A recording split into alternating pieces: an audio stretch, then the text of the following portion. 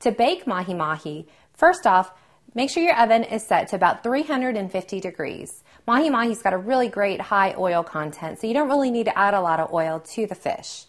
Next, go ahead and take your fish, your filet, and place it onto your roasting rack there. From here, we're going to go ahead and season it.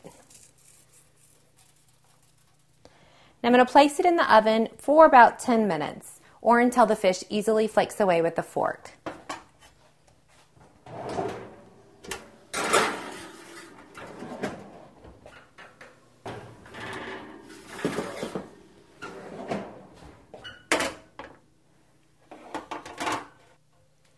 And that is how you bake mahi mahi.